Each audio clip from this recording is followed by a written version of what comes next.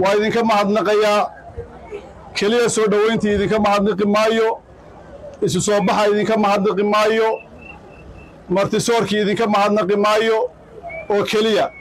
Ee waxaan idinka mahadnaqayaa tan iyo intii halganka uu bilaabmay degmadan kalabayr iyo bulshadeedu kaalinkii ay ka qaadatay.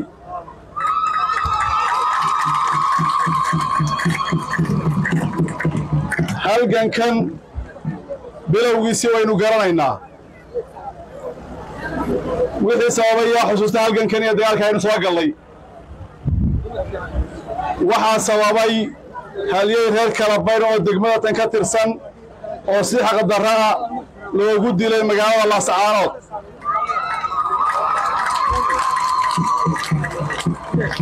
allaha u naxariistee marxuum hadraawi buu ahaa. Dilkii ninkaa loo geystay foosha xumaa baa dadweynaha ku dhaqan gobolka iyo magaalada laascaanood u dulqaadan waayeen. Dilkaasi waxa uu sababay kacdoonkii buluugga ahaa ee horseedka u ahaa halgankii esanam lagaga saaray degaanadeenna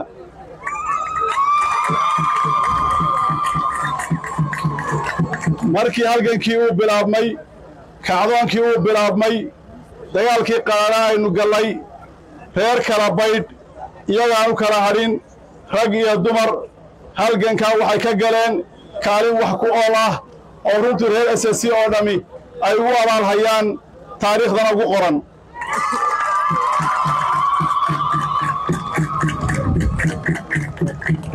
Kalabayr waxay nasiib u yeelatay inay noqotay magaaladii ugu horraysay ee dadkii halgamayaasha ahaa ee lascaanood isugu soo hadhay markii laga barakacay magaaladii keli ahayd ee quudin jirtay tan iyo intii qorshihii guddiga saddexda waddankaahi ay dejiyeen la fulinayey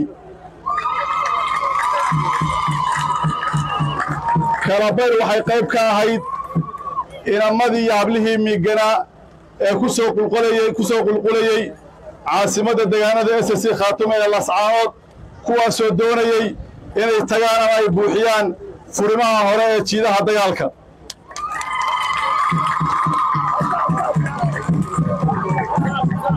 guud ahaan inamadii iyo hablihii halganka ku jiray kuwoodii dhintay ilaahay ha u naxariisto kuwoodii dhaawacmay ilaahay ha u booga dhago kuwii xubnahooda ku waaya ilaahay cawi khayr qabaha ka siiyo. Waxaan si gaara u xusuustaa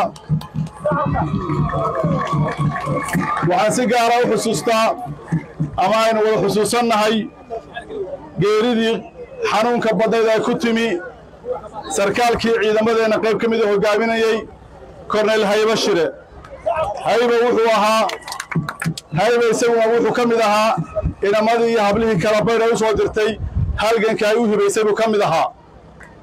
Ilaahay ha u naxariisto isaga iyo intii la midka ahaydba. Taariikhdaa dheer ee kalabayr halganka ay ku leedahay weli may kala goyn waxay ka muuqataa maanta taalladan aynu taagannahay. Bay ka muuqataa in halgankii reer kalabayr weli a bartanka kaga jiraan. Xilligaa duhurka ah salaadii duhur la addimay ee bacadka la joogo waxaad qoraxda u taagan tihiin ruuxda halgan ee idinku jirtaba halkaa idinku haysa. Waxaan rajaynayaa aad iyo aad u kalsoonahay ilaa iyo inta aynu halkii aynu ku wadnay geediga aynu ku simayno. In reer kalabayr kaalinkooda ku jiri doonaan baan ku kalsoonayaan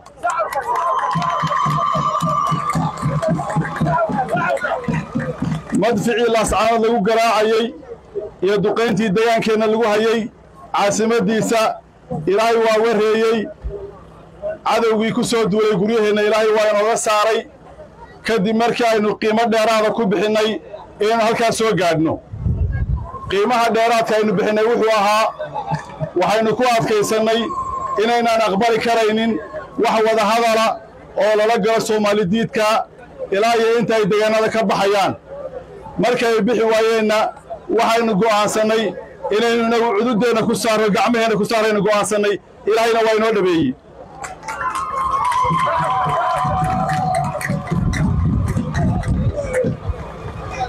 Rajiimkii aynu dhulkeenna ka saarray weli ma miirsan weli ma miirsan. Inta uu ka miirsanayo reer c dhammaan iyo reer kala baydh khaasatan. Waxaa inagu waajiba in halgankii jiidaha hore xoog iyo xoolo lagu taakuleeyo la buuxiyo oo aan galdaloola laga helin baa laynaga doonayaa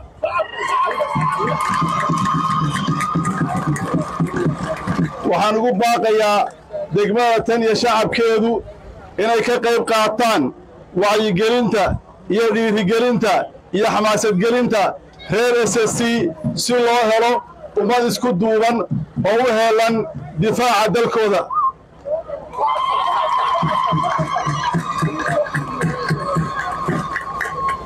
Wejigii koowaad ee halganka ee ahaa sifayntii islam laga sifaynayay degaanada waynu ku guulaysannay wejigii labaad baynu ku baaqnay.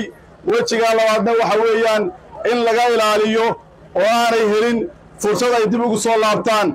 Isla mar ahaantaana aynu ahaanno kuwa dalkooda ammaankiisa gudaha iyo difaaca jiidaha intaba ku filan.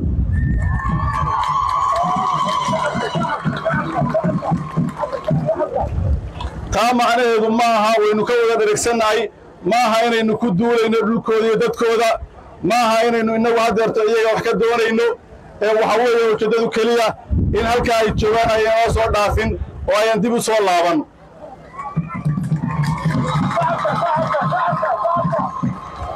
Isimada dhaqanka iyo cuqaasha iyo dhammaan waxgaradka degaanadeenna iyo maamulka s s khaatumo waxay guddoonsadeen inay baaq u jeediyaan oo baaq nabadeed u jeediyaan beelaha aynu deriska nahay ee aynu wada naallo.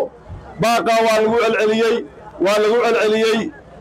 Intii hore dhegawudan muu helin laakiin iminka waxaa soo baxaysa in dhegawudan uu helay oo baaqii laga jawaabayo oo ay beesha bariga burco ku dhiiranaysa inay tidhaahdo nabad baannu doonaynaa.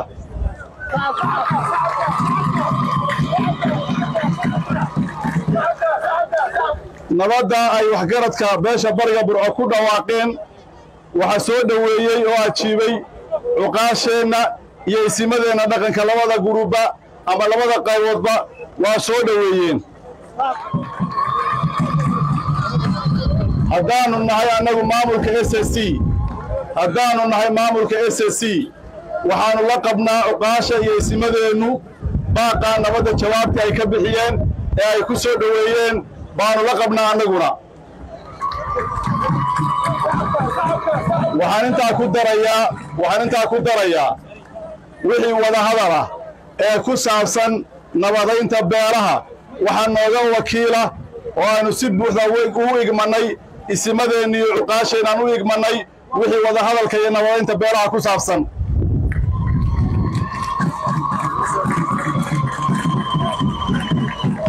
Sidaa daraaddeed isimadeenna iyo cuqaasheennu way gudageli karayaan oo way bilaabi karayaan sidii looga shaqayn lahaa in lays hor fadhiisto beelaha aynu deriska nahay oo nabadda looga wada shaqeeyo loona xijiyo loo adkeeyo